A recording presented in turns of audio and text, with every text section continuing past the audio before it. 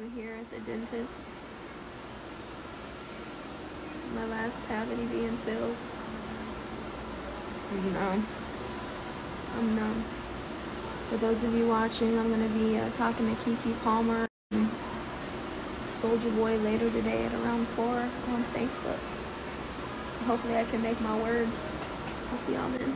I finished my cavity fill and I didn't cry this time. Listen, the last time she did it, I did my bottom and she blocked the whole thing and I was in tears. But I'm finally done. All of my cavities have been filled. And Yay! The cool, yay! And the cool thing about it is that my fillings are like clear. Like all these are just like it's Just not like silver perfectly anymore. white teeth. Oh, Perfectly fillings haven't been silver, I think, in a while. I'm late.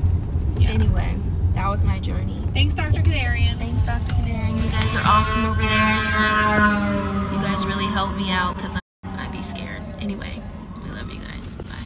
My take on beef and broccoli beef and bacon and broccoli. Ha ha ha. Yes.